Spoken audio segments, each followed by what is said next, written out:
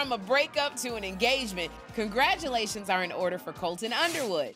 Just recently, the former Bachelor star bought a house with his boyfriend Jordan C. Brown. Mm-hmm. And now the couple has announced the news that they're engaged. Mm-hmm. So, congratulations to them. Colton is 30 and Jordan is 39. So, in case you forgot, Colton just came out as gay last year. And as far as we know, Jordan is his first boyfriend. Oh. So, you guys, are y'all surprised that he's getting married to the first guy he dated after he came out? Is that a mistake? Is that something he. Man, this feels bad.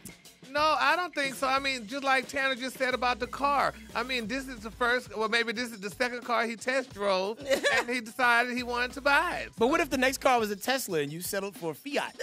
Well, you should date to figure out what you like. No. What you know, what turns you on. I, you know, it don't take long to know, honey, who you love and who you like, honey. If I meet somebody right now today, if they smile at me and tell me hi and how wonderful I am to them and whatever, I think I might just go ahead and fall because. well, it's- that's because you get is short. desperate, Gary. Yeah. You Well, can't put oh, oh, oh, desperation oh, on on Colton. Yeah. Like you are in a place where you just want to be loved. It's like a Yeah. neon sign, like a mink neon sign wrapped around your shoulders. Love me, Yeah. child. Sherri, you know me. Don't tell me Friday. so do you think Colton You know I will remain you, stick Gary. shift or he'll go back to automatic at some point? Probably be. We gonna keep it on the Yeah, cars. yeah, yeah. He's staying stick shift, that's for sure. Hey, don't forget to hit us up on social media. We're on all these platforms at Dish Nation. We'll see you there.